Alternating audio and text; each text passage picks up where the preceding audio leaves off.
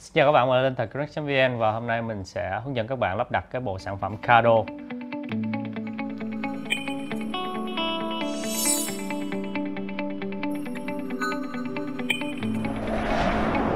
À, thì nếu mà à, có những bạn thắc mắc Kado là gì hoặc là chưa biết Kado là sản phẩm gì thì mình có một cái video khác giới thiệu và review về cái sản phẩm Kado. Thì mình sẽ để cái video đó ở đây bạn có thể xem qua. À, cái cách lắp đặt Kado cái bộ sản phẩm ở đây mình đang sử dụng là Kado Pacto Pro à, nhưng mà cùng cái cách lắp đặt này bạn có thể lắp đặt à, các sản phẩm khác của Kado và thậm chí là các sản phẩm của Sena thì nó cũng gần na ná giống giống như nhau vậy thôi nó cũng có những cái bộ phụ kiện à, nhiêu đó thôi.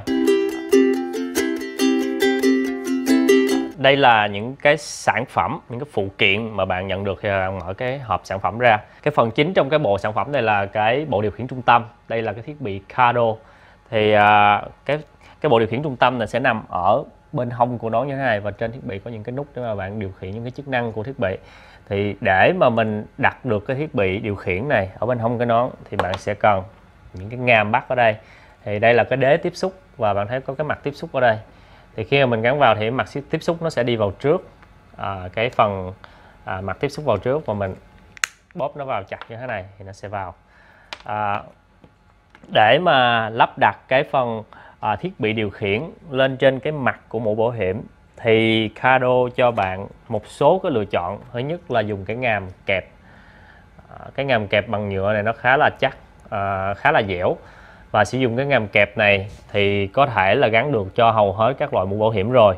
Nhưng mà nếu mà cái mũ bảo hiểm của bạn có cái thành nhựa khá là dày thì bạn có thể sử dụng cái ngàm à, ngàm dán keo 3M này thì cái keo 3M này bạn sẽ dán nó trực tiếp lên trên cái mặt của mũ bảo hiểm. À, giống như là mấy cái miếng uh, miếng dán của GoPro vậy đó nó khá là chắc sử dụng keo của 3M ngoài ra à, là bạn còn có à, tai nghe tai nghe để mà đi đi dây ở bên trong mũ và micro. À, ở đây nhà sản xuất cho hai cái loại micro khác nhau. Một loại là micro dán à, bạn có thể sử dụng cho những cái mũ full face à, và dán ở phía trước cái phần che cầm. À, nếu mà cái mũ bạn sử dụng là mũ 3 phần tư hoặc là mũ lật hàm thì cái phần hàm nó không có phía trước hoặc là phải lật lên trên thì bạn buộc phải sử dụng cái loại à, micro có cái thanh à, cong như thế này. Để mà mình đặt cái micro ở phần trước cái miệng. À, ngoài ra bạn còn có một bộ dây sạc và một số những cái miếng dán velcro để mà lắp đặt những cái phụ kiện này vào bên trong nón. Thì miếng dán velcro ở đây mình có bốn miếng dán à, ở mặt sau của nó là keo 3M và một cái miếng dán điều chỉnh vị trí à, mặt trước và sau của nó đều là velcro để mình để mà mình tùy chỉnh cái vị trí của hai cái lo ở bên trong này. Thì bây giờ mình bắt đầu mình lắp đặt những cái phụ kiện này vào bên trong nó thì à, cái mẫu mũ bảo hiểm mình sử dụng hôm nay để làm mẫu là cái mẫu là size MS436 à, nhưng mà bạn có thể cùng một cách lắp đặt này bạn có thể sử dụng trên những cái mũ full face hoặc là mũ dual sport khác cũng được. À, cái mũ bảo hiểm lật ham và cái mũ à, uh, 3 phần tư thì mình sẽ hướng dẫn sau nó chỉ khác đôi chút thôi. Thì đầu tiên để mà bắt đầu lắp đặt đầu tiên để mà bắt đầu lắp đặt thì bạn cần phải tháo toàn bộ cái à, lót bên trong mũ ra bao gồm lót hai bên hàm và cái lót ở phần đỉnh đầu để mà chút nữa mình dễ mình đi dây thì đây là cái phần bên trong mũ mình đã tháo toàn bộ cái lót nón ở hai bên má và cái lót trên đỉnh đầu ra. Cái bộ phận đầu tiên mình cần lắp đặt đó là cái thiết bị điều khiển này. Thì à, ở đây mình nghĩ là cái ngàm kẹp này thôi là nó đã đủ dùng cho cái mẫu nón này rồi. Thì à, tùy bạn chọn sử dụng cái ngàm kẹp hay là cái cái cái cái, cái miếng dán này. Thì nếu mà cái ngàm kẹp này nó không vừa vào đây thì lúc đó bạn mới sử dụng bằng miếng dán. Để mà tháo thiết bị ra thì mình đè cái chốt phía sau. Lại ra thì uh, quyết định giữa việc sử dụng cái ngàm kẹp hoặc là cái miếng dán này thì bạn phải gắn nó vào cái đế tiếp xúc trước. À, lưu ý là cái ngàm kẹp và cái thiết bị điều khiển trung tâm này thì bạn chỉ có thể gắn ở bên trái của cái mũ bảo hiểm thôi à, cùng phía bên này. À, tại vì Cado nó chỉ làm cho cái thiết bị này ở bên tay trái thôi. À, nếu mà bạn gắn bên tay phải thì cái phần anten khi mà bung ra nó sẽ bị quay ngược xuống. À, nó cũng chắc là nó sẽ khó điều khiển đó. Cho nên mình gắn cái này ở bên trái của mũ bảo hiểm thôi thì à, đầu tiên là cái ngàm kẹp này mình à, mình kẹp vào chính giữa ở chỗ à, mình kẹp cái ngàm kẹp này vào cái phần vỏ nón ở đây. À, sau khi là mình đã tháo cái lớp à, lót ở bên trong rồi thì đẩy nó vào bên trong. Thì cái phần vỏ nón nó nó khá dày à, bạn chỉ cần à, mạnh tay đẩy nó vào thôi không hư đâu. Hư thì bảo hành 7 ngày.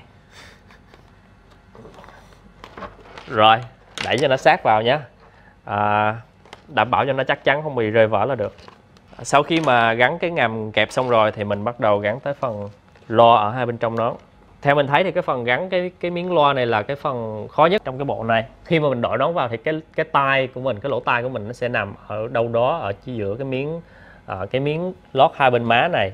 Thì mình cần canh chính xác làm sao cho cái loa nó nằm ở khoảng chính giữa cái miếng uh, cái miếng lót má này để cho nó không có bị cộm ra và nó canh mình canh làm sao mà cái loa này nó sát cái tai của mình uh, nhất có thể để mà đảm bảo cho cái chất lượng âm thanh nó tốt mình nghe cho nó rõ ràng. À, đồng thời là nó không có bị đẩy hoặc là nó bị kẹp vào đâu đó nó gây khó chịu khi mà mình đội lâu nó bị gây đau tai. Thì à, cái cách mình làm đó là à, ở cụ thể ở trên cái mẫu nón này thì cái miếng cái miếng lót má nó lại có một cái miếng xốp che ở đây thì mình nghĩ là để cho nếu mà bạn sử dụng cùng với cái mẫu này cho nó để cho nó dễ dàng hơn thì mình nên cắt cái miếng này ra tại vì cái miếng lót xốp này thì nó sẽ phủ lên trên cái à, cái loa và nó sẽ làm giảm cái chất lượng âm thanh. Ngoài ra nó còn làm cho cái chỗ ờ, cái chỗ loa hai bên tay nó nó dày thêm mà khi mình mình mình đội nón bảo hiểm lâu thì nó sẽ bị à, tùy vào cái tay và nó khá là đau. À, nếu là mình thì mình cắt ra. Và khi mà mình lắp đặt cái à, cái màn loa vào bên trong cái mũ bảo hiểm thì mình sẽ à, lấy cái miếng lót má để mà mình án chừng cái vị trí để mà cố định cái phần loa à, tai nghe vào ở bên trong nón bảo hiểm thì bạn sẽ cần một cái miếng velcro dán như thế này. Một mặt của nó là velcro mặt sau là dán. Thì cái miếng dán này sẽ dán trực tiếp vào phần mặt trong của cái vỏ mũ.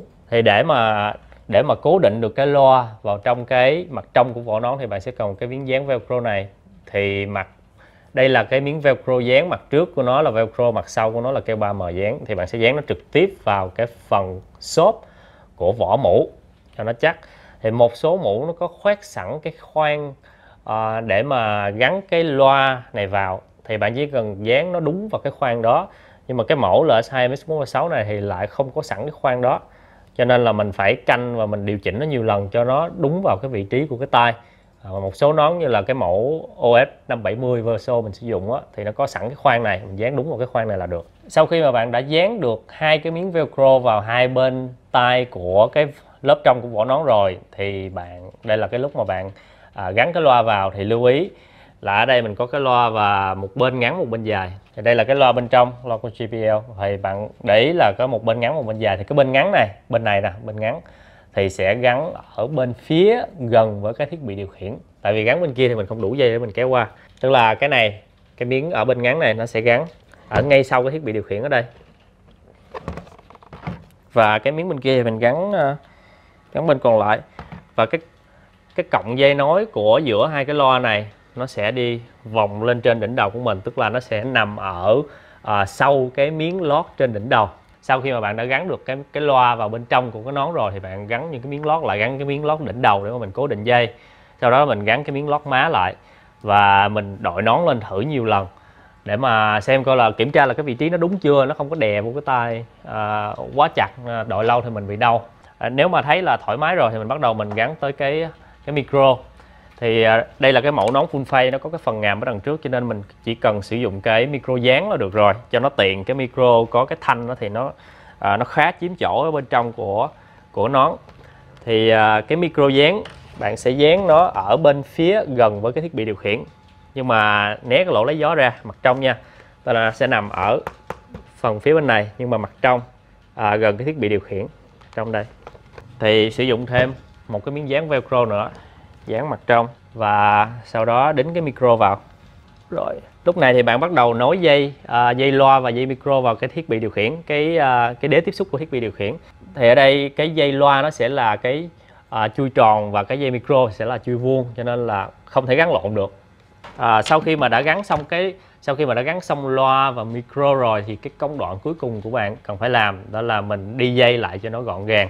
Thì à, lưu ý là những cái chỗ mà à, dây nó tiếp xúc với phần vỏ nón ở mặt dưới của nó như thế này thì nó cọ vào cái một vỏ nón lâu ngày nó sẽ làm cho cái à, cái phần dây chỗ đó nó dễ bị mòn và nó nó dễ bị gãy đi. Thì à, ở đây mình quấn băng keo để mà cho nó nó cứng nó và nó lâu mòn hơn một chút xíu. À, sau khi mà đã à, đi dây xong loa và micro rồi thì cuối cuối cùng là bạn gắn cái thiết bị vào để mà bắt đầu sử dụng thôi. Thì à, như khi nãy mình đã nói cái mặt trước trước sẽ vào trước mặt tiếp xúc vào trước. Đẩy mạnh tay vào. Rồi xong. Vậy là à, để mà gắn cái thiết bị Caro lên một chiếc mũ phun phay thì nó chỉ có bao nhiêu đó bước thôi. Bây giờ kế tiếp là mình sẽ hướng dẫn lắp đặt thiết bị Caro này lên trên cái mũ 3 phần 4 và cái mũ lật hàm sử dụng cái micro có cái thanh cái mẫu 3 phần tư mà mình sử dụng để làm mẫu. À, ngày hôm nay đó là cái mẫu LS2 Cabrio à, làm bằng carbon. Cái những cái bước mà gắn cái thiết bị Cardo lên trên cái mũ 3 phần tư này nó cũng tương tự như cái mũ full face khi nãy. Thì à, ở đây mình vẫn xài lại được cái ngàm kẹp. Cái việc mà gắn thiết bị lên trên vỏ nón và gắn cái lo vào mặt bên trong của nón thì nó cũng tương tự những cái mũ full face khi nãy thôi. Mình cũng sử dụng cùng một cái ngàm kẹp và các bước gắn cái lấy loa vào bên trong thì cũng tương tự tháo cái phần lót má hai bên ra và canh làm sao cho cái loa nó nằm đúng cái tay của mình không quá à, không quá chèn ép cái tay để mà gây khó chịu sử dụng. Thì cái bước mà nó khác chút xíu là bạn sẽ dùng cái micro có cái thanh này. Tại vì mũ 3 phần tư nó không có cái cái phần ngàm phía trước để mà giữ cái micro dán. Và cái mũ lật hàm thì à, nếu mà mình dán lên thì mình lật cái hàm lên là mình hết nói chuyện được. Với lại nó kéo cái dây đi nó làm đứt dây thì do đó là mình phải sử dụng cái à, cái micro mà có cái thanh này. Thì trên micro có thanh này nó có tới hai điểm để mà tiếp xúc vào cái thân nón. Ở đây một cái điểm ở chính giữa một cái điểm cuối này ở đây là chỗ có thể mình gắn velcro vào. Và bạn cũng để ý là cái phần dây micro khá là ngắn cho nên mình gắn qua phía bên à, phía bên gần thiết bị. Thì để mà gắn cái này dễ hơn thì mình cần có hai miếng velcro mình dán hẳn lên trên cái micro. Hai miếng velcro dán hẳn lên trên micro này lọc hai miếng chè ra. Sau đó là mình sẽ tháo cái phần lót nón ở bên phía của thiết bị điều khiển và dán nó vào phần bên trong lót nón thôi. Sau khi dán vào rồi thì mình à, ghim dây micro vào thử xem là nó có đủ được chiều dài không. Dây cũng khá dài không phải là ngắn. À, lưu ý là đừng có che mấy cái uh, che mấy cái nút để mà gắn cái lót nón lại. Phải chỉnh đôi chút. Sau khi mà mình dán cái micro vào được rồi thì mình gắn cái lót nón lại xem nó có bị cấn ở đâu không. Thì à, sau khi gắn cái thiết bị Caro lên cái mẫu 3 phần 4 thì nó sẽ như thế này. Có micro ra đằng trước thôi mũ lật hàm cũng để cái micro ở đây. À, sau khi gắn xong thì cũng như cái nón full face hồi nãy bạn đội thử vào để mà canh coi là cái vị trí micro với là cái loa nó nằm đúng vị trí nó không có đè vào sát cái tay của mình gây khó chịu. Thì như các bạn thấy đó cái quy trình lắp đặt những cái bộ phụ kiện lên trên một cái nón bảo hiểm nó mất ít ra là cũng ờ, khoảng 20 phút đi. Và mấy cái miếng dán mà mình sử dụng đó à, thì nếu mà mình lấy nguyên cái bộ phụ kiện của một nón này mình đem qua một nón khác. Tại vì thí dụ là bạn có nhiều nón nhưng mà bạn chỉ có một thiết bị thôi à, sử dụng cho nhiều nón thì bạn phải dời bộ phụ kiện này qua lại. Thì nó không khả thi lắm nó mất thời gian tháo ra gắn lại sau đó mà mốt tháo ra gắn lại. Và những cái miếng dán đó thì nếu mà tháo ra gắn lại nhiều lần quá thì nó cũng mất cái chất dính của nó. Do đó là cái Kado cũng có à, bán riêng cái bộ phụ kiện à, cho một cái mũ bảo hiểm. Thì nếu mà bạn có một thiết bị bạn muốn xài cho nhiều cái mũ bảo hiểm khác nhau thì à, có lẽ là bạn nên mua cái bộ phụ kiện này để mình gắn cho những cái nón khác mà mình có thể sử dụng. Thì một bộ như thế này bao gồm đủ phụ kiện cho một cái nón riêng biệt. À, bộ phụ kiện riêng này có giá là một triệu chín. À, tuy nhiên là cái à, cái bộ phụ kiện thêm này thì cái loa sử dụng không phải là cái loa JBL nó chỉ là cái loa thường của Kado thôi thì uh, chắc là cái âm thanh nó sẽ không hay bằng cái bộ JBL đi theo cái bản bán kèm Kado. Uh, nếu mà bạn muốn nâng cấp cái bộ này lên uh, loa JBL thì cái bộ JBL lại bán riêng giá tới 2 triệu mốt lần thì uh, nếu mà bạn có nhiều hơn một mũ bảo hiểm thì cứ một mũ bảo hiểm gắn kèm thêm thì bạn phải mua thêm một bộ này thôi. Mình thấy cái này là nó cũng đáng tại vì gắn xong rồi mình để đó luôn. Khi mà mình lựa chọn mỗi lần đi mình lấy nón này thì mình chỉ cần lấy cái thiết bị mình gắn vào đây à, lần khác đi mình lại sử dụng món này thì mình lấy cái thiết bị điều khiển qua mình gắn qua bên này. Nó khá là tiện. Cảm ơn bạn đã xem video và nếu bạn thấy video của mình hữu ích thì like share và subscribe. Cảm ơn bạn.